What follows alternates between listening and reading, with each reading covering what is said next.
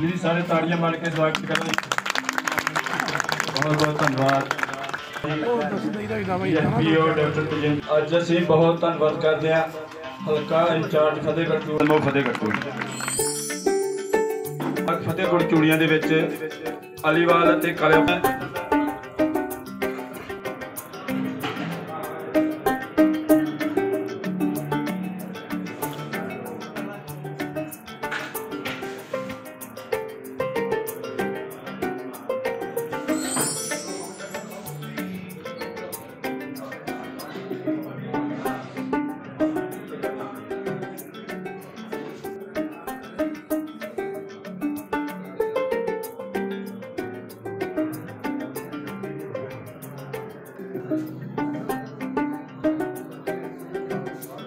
ਵੀ ਅੱਜ ਪੂਰੇ ਪੰਜਾਬ ਦੇ ਵਿੱਚ 500 ਮਹੱਲਾ ਕਲੀਨਿਕ ਖੁੱਲੇ ਨੇ ਔਰ ਪੂਰੇ ਪੰਜਾਬੀਆਂ ਨੂੰ ਆਮ ਆਦਮੀ ਪਾਰਟੀ ਤੋਂ ਬੜੀ ਆਸ ਹੈ।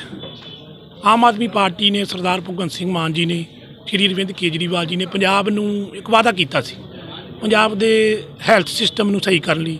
ਕਿਉਂਕਿ ਪੰਜਾਬ ਦੇ ਵਿੱਚ ਕਈ ਸਾਡੇ ਭੈਣਾਂ, ਕਈ ਵੀਰ, ਕਈ ਬਜ਼ੁਰਗ ਇੱਕ ਹੈਲਥ ਸਿਸਟਮ ਦਾ ਕਰਕੇ ਆਪਣੇ ਪਰਿਵਾਰਾਂ ਨੂੰ ਛੱਡ ਕੇ ਚਲੇ ਗਏ ਇਸ ਕਰਕੇ ਪੰਜਾਬ ਦੇ ਵਿੱਚ ਹੈਲਥ ਸਿਸਟਮ ਦੀ, ਚੰਗੇ ਹੈਲਥ ਸਿਸਟਮ ਦੀ ਬੜੀ ਲੋੜ ਸੀ। ਪੰਜਾਬ ਦੇ ਵਿੱਚ ਤਕਰੀਬਨ 500 ਅੱਜ ਮੁਹੱਲਾ ਕਲੀਨਿਕਾਂ ਹਰ ਹਲਕੇ ਦੇ ਵਿੱਚ ਤਕਰੀਬਨ 4 ਮੁਹੱਲਾ ਕਲੀਨਿਕਾਂ ਖੋਲ ਦਿੱਤੀਆਂ ਗਈਆਂ ਨੇ। ਜਿਉਂ-ਜਿਉਂ ਸਾਡੇ ਬੱਚੇ ਹੋਰ ਵੀ ਡਿਗਰੀਆਂ ਕਰਕੇ ਆਉਣਗੇ ਅੱਗੇ ਅੱਗੇ ਮੁਹੱਲਾ ਕਲੀਨਿਕਾਂ ਦਾ ਵਾਧਾ ਕੀਤਾ ਜਾਵੇਗਾ।